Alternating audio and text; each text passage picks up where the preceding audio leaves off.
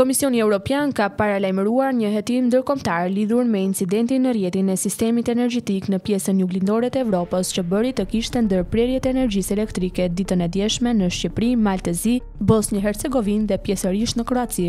Zyrtarët malazezë pohojnë se ndërprerja e energjisë elektrike në rajon është pasojë e ngarkesës së madhe, rritjes së konsumit ditor dhe temperaturave të larta. Një hetim i rrjetit europian të operatorëve të sistemit të transmetimit për energji duhet të përcaktojë shkaqet e nisjes së problemit. Më njëzet e një qershor dy mijë e njëzet e katër, rreth orës dymbëdhjetë e njëzet, një incident i madh në rrjet ka ndodhur në pjesën juglindore të sistemit energjetik të Evropës kontinentale. Incidenti rezultoi në ndërprerje të rrjeteve elektrike të Shqipërisë, Malit të Zi, Bosnjë-Hercegovinës dhe një ndërprerje të pjesshme në Kroaci. OST-të e prekura me mbështetjen e OST-ve fqinje rikthyen energjinë në rrjetet e tyre brenda rreth dy orësh, duke synuar minimizimin e ndikimit të ndërprerjes tek konsumatorët, thuhet në deklaratën e ENTSO.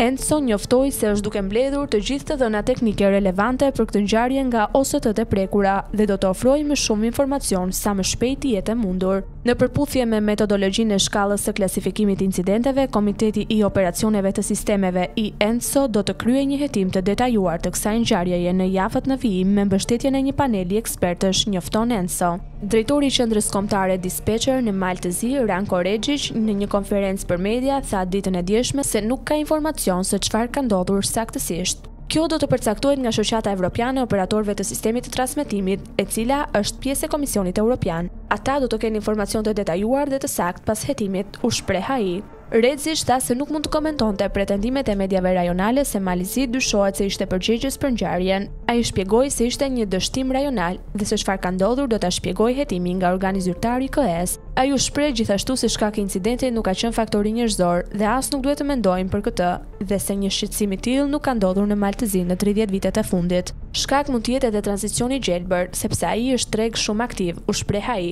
Zyrtarët kroatë, siç raportojnë mediat lokale, njoftuan se kolapsi teorik mund të kishte goditur të gjithë Evropën, sepse sistemet energjetike janë të lidhura dhe se është e papërgjegjshme të bëhen supozime para hetimit zyrtar nga organet europiane, i cili zakonisht zgjat gjashtë muaj. Ne jemi dëshmitarë të një prishjeje rajonale të sistemit elektroenergjetik dhe të fajësosh Malin e Zi për këtë do të ishte jashtëzakonisht e gabuar. Problemi u ngrit si rezultat i një ngarkese shumë të madhe, rritjes së ngarkesës ditore dhe temperaturave shumë të larta. E gjitha kjo çon në faktin që rryma nuk mund të transmetohet siç duhet dhe po vijmë tek ajo që ndodhi sot, tha ministri i Energjisë dhe Minierave në Mal të Zi, Sasha Mujoviç në një fjalim zyrtar për mediat. Në Shqipëri, ministrja e Infrastrukturës dhe Energjisë, Belinda Balluku, deklaroi dje se ndërprerja zgjati rreth gjysmë ore në të gjithë vendin dhe konfirmoi se, sipas një analize fillestare, temperaturat e larta dhe sistemi i ngarkuar i transmetimit ishin shkaktarët. Kemi arritur të rikuperojmë situatën brenda tridhjetë minutash në të gjithë vendin, e për Tiranën për shtatëmbëdhjetë minuta. tha ajo në një videomesazh. Ajo u shpreh se Shqipëria vazhdon të jetë zonë me rrezikshmëri të lartë, sepse volumet e transmetimit në linjat e interkonjeksionit janë të mëdha dhe temperaturat do të mbeten në nivele rekord edhe në ditët në vijim.